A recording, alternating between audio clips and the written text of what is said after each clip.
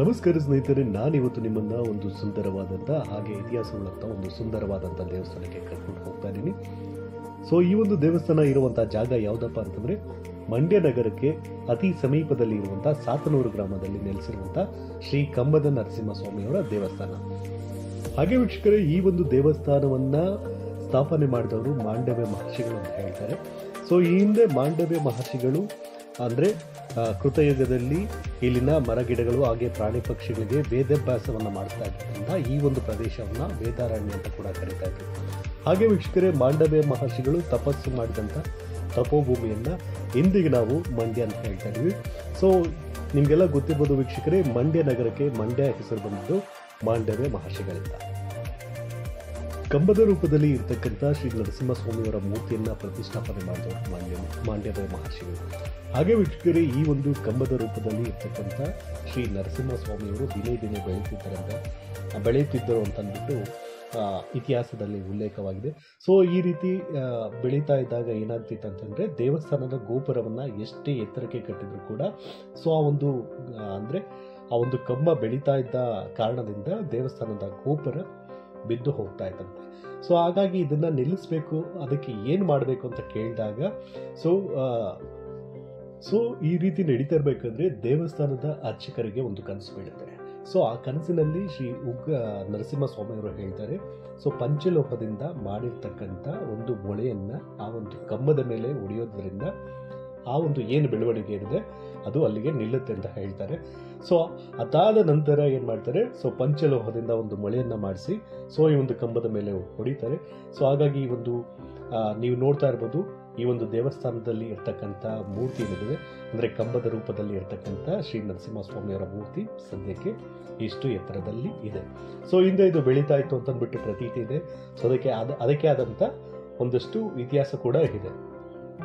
ಹಾಗೆ ವೀಕ್ಷಕರು, ನೀವು ಸಾಮಾನ್ಯ ದಿನಗಳಲ್ಲಿ ಏನಾದರೂ ಈ ಒಂದು ದೇವಸ್ಥಾನಕ್ಕೆ ಹೋದರೆ, ಅಂದರೆ ಆ ಒಂದು ಕಂಬದ ಮೇಲೆ ಇರ್ತಕ್ಕಂಥ ಮೂರ್ತಿಯ ಮೇಲೆ ಅಂದರೆ ಆ ಒಂದು ಕಂಬದ ಮೇಲೆ ಇರ್ತಕ್ಕಂಥ ಮೊಳೆಯ ಗುರುತನ್ನು ಸಹ ನೀವು ನೋಡ್ಬೋದು. ಹಾಗೆ ವೀಕ್ಷಕರೇ, ಈ ಒಂದು ದೇವಸ್ಥಾನಕ್ಕೆ ನೀವು ಬಂದಾಗ ಇಲ್ಲಿನ ದೇವಸ್ಥಾನದ ರೀತಿ ನೀತಿ ರಿವಾಜುಗಳನ್ನು ನೀವು ಪರಿಪಾಲನೆ ಮಾಡಬೇಕಾಗುತ್ತೆ. ಯಾಕಂದರೆ ಇಲ್ಲಿ ಮಡಿ ಮೈಲಿಗೆ ಅನ್ನೋದು ಇರುತ್ತೆ. ಸೊ ಹಾಗಾಗಿ ಏನಾದರೂ ಅಪ್ಪಿ ತಪ್ಪಿ ತಪ್ಪುಗಳಾದರೆ ನಿಮಗೆ ಖಂಡಿತ ಒಂದು ದೇವರು ವರದ ಬದಲಾಗಿ ಶಿಕ್ಷಣ ಕೊಡ್ತಾನೆ. ಸೊ ಹಾಗಾಗಿ ಈ ಒಂದು ನೀವು ದೇವಸ್ಥಾನಕ್ಕೆ ಬಂದಾಗ ಶ್ರೀ ನರಸಿಂಹಸ್ವಾಮಿಯವರನ್ನ ನೀವು ಏನು ಕೇಳಿಕೊಂಡು ಸಹ ಕೊಡ್ತಾರೆ, ಆದರೆ ಒಂದು ಕಟ್ಟುನಿಟ್ಟಿನ ಕ್ರಮದಲ್ಲಿ ನೀವು ಇರಬೇಕಾಗತ್ತೆ. ಬನ್ನಿ ವೀಕ್ಷಕರು, ಈಗ ನಿಮಗಾಗಿ ಶ್ರೀ ನರಸಿಂಹಸ್ವಾಮಿ ಅವರಿಗೆ ಮಹಾಮಂಗಳಾರತಿಯನ್ನ ಮಾಡ್ತಾರೆ. ಸೊ ಮಹಾಮಂಗಳಾರತಿಯ ದರ್ಶನವನ್ನು ಮಾಡಿ, ಹಾಗೆ ಮತ್ತಷ್ಟು ಮಾಹಿತಿಗಳನ್ನ ನಾನು ನಿಮಗೆ ಈ ಒಂದು ದೇವಸ್ಥಾನದ ಬಗ್ಗೆ ಕೊಡ್ತೀನಿ.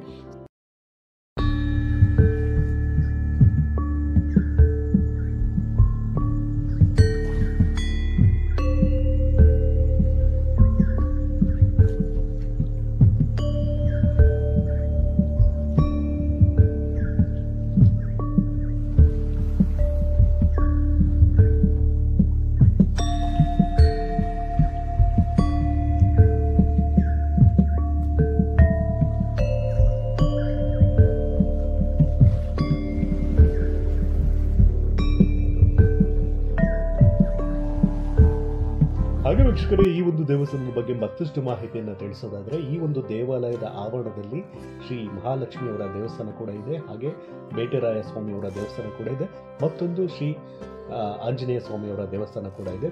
ಸೊ ಈ ಒಂದು ದೇವಸ್ಥಾನದ ವಿಡಿಯೋಗಳನ್ನು ನಾನು ನನ್ನ ಪಾರ್ಟ್ ಟು ವಿಡಿಯೋನಲ್ಲಿ ನಾನು ನಿಮಗೆ ಹಂಚ್ತಾ ಹೋಗ್ತೀನಿ.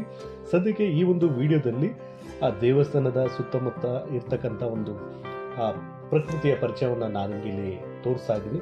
ಹಾಗೆ ವೀಕ್ಷಕರೇ, ಈ ಒಂದು ದೇವಸ್ಥಾನದ ಬಗ್ಗೆ ಮತ್ತೊಂದು ವಿಶೇಷತೆ ಏನಪ್ಪಾ ಅಂತಂದ್ರೆ, ಸೊ ಈ ಒಂದು ಬೆಟ್ಟ ಅಂದ್ರೆ ಏನೊಂದು ಚಿಕ್ಕದಾದಂಥ ಗುಡ್ಡ ಏನಿದೆ, ಇದು ಶಂಕಾಕೃತಿಯಲ್ಲಿದೆ ಸೊ ಸದ್ಯಕ್ಕೆ ನೀವು ನೋಡ್ತಾ ಇರುವಂತಹ ದೃಶ್ಯ ಏನಿದೆ, ಇದು ಮಹಾಲಕ್ಷ್ಮಿಯವರ ದೇವಸ್ಥಾನದ ದೃಶ್ಯ ವೀಕ್ಷಕರೇ. ಬನ್ನಿ, ಇಲ್ಲೂ ಕೂಡ ನಿಮಗೆ ಮಂಗಳಾರತಿಯ ದೃಶ್ಯವನ್ನ ತೋರಿಸ್ತೇನೆ ಹೆಣ್ಣು ವೀಕ್ಷಕರೇ, ಈ ಒಂದು ದೇವಸ್ಥಾನದ ಬಗ್ಗೆ ಹೇಳೋದಾದ್ರೆ, ಈ ಒಂದು ದೇವಸ್ಥಾನದ ಆವರಣದಲ್ಲಿ ಪ್ರಮುಖವಾಗಿ ನಾಲ್ಕು ದೇವಸ್ಥಾನಗಳಿದೆ ಮೊದಲನೇದಾಗಿ ಕಂಬದ ನರಸಿಂಹಸ್ವಾಮಿಯವರು ಬೈ ಡಿಫಾಲ್ಟ್ ದೇವಸ್ಥಾನ. ಹಾಗೆ ದೇವಸ್ಥಾನದ ಹಿಂದೆ ಮಹಾಲಕ್ಷ್ಮಿಯವರ ದೇವಸ್ಥಾನ ಕೂಡ ಇದೆ. ಮತ್ತೆ ಅದಕ್ಕೆ ಹೊಂದಿಕೊಂಡಂತೆ ಸ್ವಲ್ಪ ಪಕ್ಕದಲ್ಲಿ ಬೇಟೆರಾಯ ಸ್ವಾಮಿಯವರ ದೇವಸ್ಥಾನ ಕೂಡ ಇದೆ. ಇನ್ನು ಬೆಟ್ಟದ ತಳಭಾಗದಲ್ಲಿ, ಅಂದ್ರೆ ನೀವು ಬೆಟ್ಟವನ್ನು ಇಳಿಬೇಕಾದ್ರೆ ನಿಮ್ಮ ಎಡಭಾಗಕ್ಕೆ ಶ್ರೀ ಆಂಜನೇಯ ಸ್ವಾಮಿಯವರ ದೇವಸ್ಥಾನ ಕೂಡ ಬರುತ್ತೆ. ವೀಕ್ಷಕರೇ, ಇನ್ನು ನಾನು ಹೋದಂಥ ಸಮಯ ಬಂದ್ಬಿಟ್ಟು ಶ್ರಾವಣ ಶನಿವಾರ. ಅಂದ್ರೆ ಮೂರನೇ ಶ್ರಾವಣ ಶನಿವಾರ ಆಗಿದ್ದರಿಂದ ವಿಶೇಷವಾದ ಕಜ್ಜಾಯದ ಪೂಜೆಗಳನ್ನು ದಾಸಪ್ಪರವರು ಮಾಡ್ತಾ ಇದ್ರು. ಹಾಗೆ ವೀಕ್ಷಕರೇ, ದೇವಸ್ಥಾನದ ಬಗ್ಗೆ ಮತ್ತಷ್ಟು ಮಾಹಿತಿಗಳನ್ನು ಇಲ್ಲಿನ ಅರ್ಚಕ ವೃಂದದಿಂದ ನಾನು ನಿಮಗೆ ತಿಳಿಸ್ತಾ ಹೋಗ್ತೀನಿ.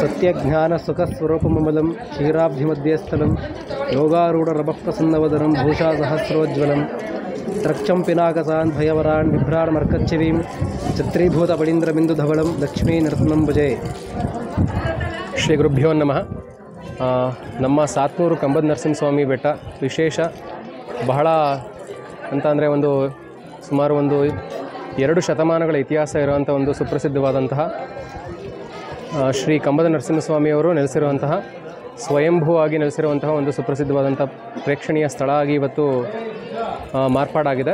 ಸೊ ನಮ್ಮ ಒಂದು ದೇವಸ್ಥಾನದ ಇತಿಹಾಸ ಏನಪ್ಪ ಅಂತಂದರೆ ನಮ್ಮ ಮಾಂಡವ್ಯ ಋಷಿಗಳು ತಪೋಗೈದಂತಹ ಈ ಒಂದು ಭೂಮಿಯಲ್ಲಿ ಮಾಂಡವ್ಯ ಋಷಿಗಳೇ ಪ್ರತಿಷ್ಠಾಪನೆ ಮಾಡಿದಂತಹ ಒಂದು ಸ್ವಯಂಭೂ ಶ್ರೀ ಕಮಲ ನರಸಿಂಹಸ್ವಾಮಿ ಆಗಿದೆ.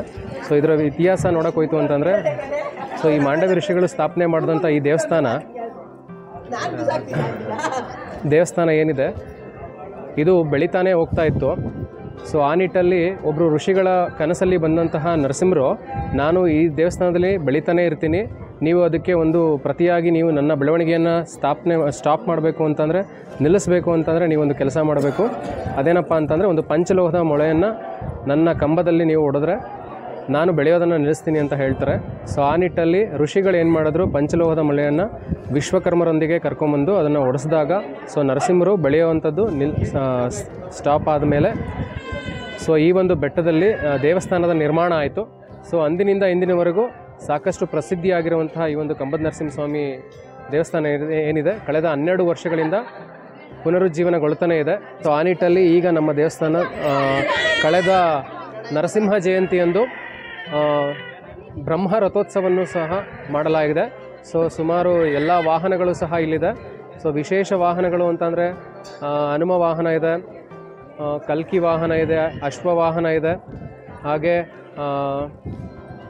ಸಾಕಷ್ಟು ವಾಹನಗಳನ್ನ ನಮ್ಮ ಒಂದು ದೇವಸ್ಥಾನದ ಬ್ರಹ್ಮರಥೋತ್ಸವದಲ್ಲಿ ನಡೆಸಲಾಗುತ್ತೆ. ಪ್ರತಿ ವರ್ಷ ಶ್ರಾವಣ ಇದ್ದೇ ಇರುತ್ತೆ. ಕಳೆದ ಸುಮಾರು ವರ್ಷಗಳಿಂದ ಶ್ರಾವಣ ಮಾಸ ವಿಶೇಷವಾಗಿ ನಮ್ಮ ದೇವಸ್ಥಾನದಲ್ಲಿ ನಡ್ಕೊಂಡು ಬಂದಿದೆ. ಸೊ ಆ ನಿಟ್ಟಲ್ಲಿ ಪ್ರತಿ ಶ್ರಾವಣ ಮಾಸನೂ ಪ್ರತಿ ಶನಿವಾರನೂ ವಿಶೇಷ ಅಲಂಕಾರದಿಂದ ಶ್ರೀ ಕಮಲ ನರಸಿಂಹಸ್ವಾಮಿಯವರು ಕಂಗೊಳಿಸ್ತಾ ಇರ್ತಾರೆ. ಇಲ್ಲಿ ವಿಶೇಷ ಏನಪ್ಪ ಅಂತಂದರೆ ಪ್ರತಿಯೊಬ್ಬರೂ ಸಾಮೂಹಿಕವಾಗಿ ಭಾಗವಹಿಸಿ ಶ್ರೀ ಕಮಲ ನರಸಿಂಹಸ್ವಾಮಿಯ ಶ್ರಾವಣ ಮಾಸವನ್ನು ಯಶಸ್ವಿಗೊಳಿಸಿದ್ದಾರೆ. ಕಳೆದ ವರ್ಷ ಸಾರಿ ಈ ವರ್ಷ ಎರಡು ಸಾವಿರದ ಇಪ್ಪತ್ತೆರಡು ನರಸಿಂಹ ಜಯಂತಿಯೊಂದು ವಿಶೇಷವಾಗಿ ಬ್ರಹ್ಮರಥೋತ್ಸವ ಜೊತೆಗೆ ರಥೋತ್ಸವವನ್ನು ಎಳೆಯಲು ಪ್ರಾರಂಭಿಸಿದ್ದಾರೆ. ಇಂದು ಇದು ಇನ್ನು ಪ್ರತಿ ವರ್ಷ ಜಾರಿಯಲ್ಲಿರುತ್ತೆ. ಸೊ ನರಸಿಂಹ ಜಯಂತಿ ಪ್ರತಿ ವರ್ಷ ನರಸಿಂಹ ಜಯಂತಿ ವಿಶೇಷವಾಗಿ ರಥೋತ್ಸವ ನಡೆಯುತ್ತೆ. ಹಾಗೆ ಗೋಕುಲಾಷ್ಟಮಿ ಆಗಿರ್ಬೋದು, ಕೃಷ್ಣ ಜನ್ಮಾಷ್ಟಮಿ ಆಗಿರ್ಬೋದು, ಶ್ರಾವಣ ಮಾಸ ನಮ್ಮ ಒಂದು ದೇವಸ್ಥಾನದಲ್ಲಿ ವಿಶೇಷ. ಥ್ಯಾಂಕ್ ಯು ನೋಡಿದ್ರಲ್ವ ವೀಕ್ಷಕರೇ, ಈ ಒಂದು ವಿಡಿಯೋ ನಿಮಗೆ ಇಷ್ಟ ಆಗಿದೆ ಅಂತ ನಾನು ಕೂಡ ಅನ್ಕೊಂಡಿದ್ದೀನಿ. ಹಾಗೆ ಭಾಗ ಎರಡರ ಸಂಚಿಕೆಯಲ್ಲಿ ದೇವಸ್ಥಾನದ ಮತ್ತಷ್ಟು ಮಾಹಿತಿಗಳನ್ನ ನಾನು ನಿಮಗೆ ತಿಳಿಸ್ತಾ ಹೋಗ್ತೀನಿ. ಸದ್ಯಕ್ಕೆ ಎಲ್ರಿಗೂ ಕೂಡ ದೇವರು ಒಳ್ಳೇದು ಮಾಡಲಿ ಅಂತ ನಾನು ಕೂಡ ಕೇಳ್ಕೊಳ್ತೇನೆ ಎಲ್ರಿಗೂ ಒಳ್ಳೇದಾಗಲಿ.